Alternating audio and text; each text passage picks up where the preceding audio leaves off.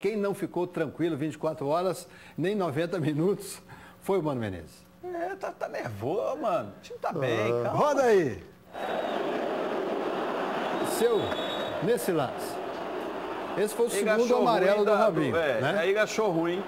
Só que o Robinho, nessa segunda falta, foi para amarelo mesmo, gente. A verdade foi essa.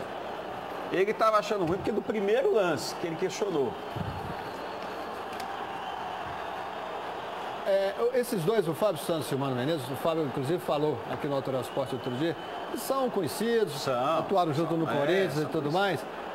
Mas nessa hora aí, amigos, Não, amigos, não, bola fazer parte. O Mano tá ali apontando para quem? O Fábio Ele Santos tá estava xingando reclamando geral? a minha arbitragem. Né? Arbitragem. Mas. Leozinho, você reparou que o. Aí, Mas o aí Mano- foi expulso. O né? Mano não podia ter feito isso, não. Não, mas o. Pela bola, né? Ô, mano, vamos ficar tranquilo, as coisas estão dando certas. Né?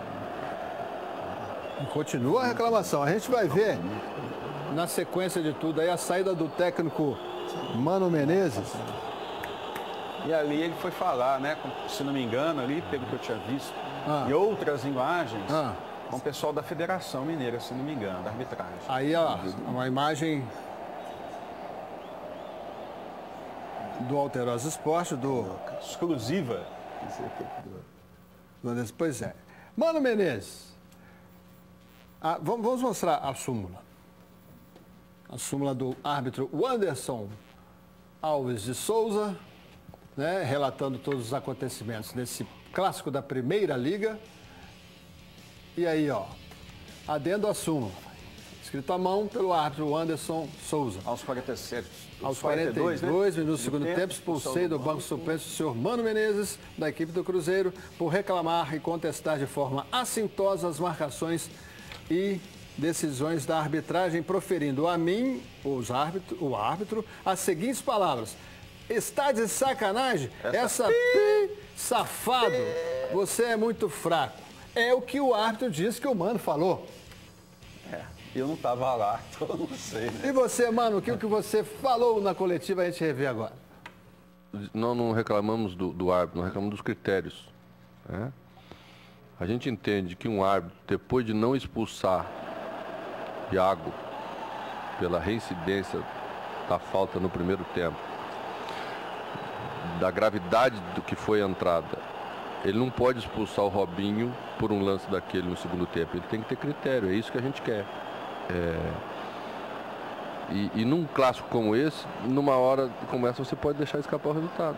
Né? A gente tinha o controle do jogo, as coisas estavam mais abertas para a gente fazer o segundo. E aí você passa a sofrer nos últimos minutos, porque você fica com um jogador a menos, o adversário ganha vida, vai, vai se arriscar um pouco mais. né? Então a gente só quer isso. É, é só isso que eu tenho para falar, não tenho na- mais nada. Tá? É, e cabe às pessoas que analisem, cabe a vocês estabelecer a, a análise daquilo que, que, que foi. eh, E a gente sempre respeita opiniões nessa hora, né? Deve ser a regra 5. Tá o Mano ignorizando, né? E o Robinho? Estão pedindo para ele sair.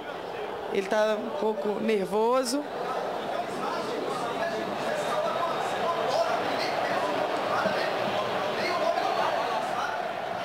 Tá ali ao lado do Bruno Faleiro, da assessoria de comunicação do Cruzeiro.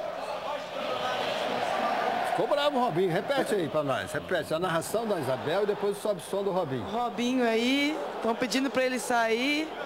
Ele está um pouco nervoso.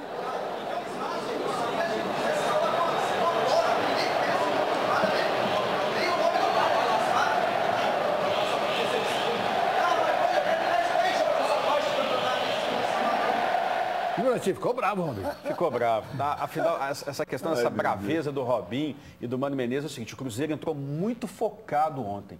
Muito focado e com sangue nos olhos. Levou esse clássico muito a sério. A diferença do time re- adversário. Bom, tá ali o sangue quente, né?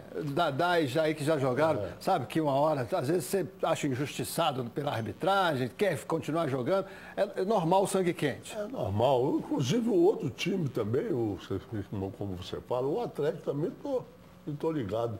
Tanto é que após o jogo deu uma confusãozinha ali. Agora, o que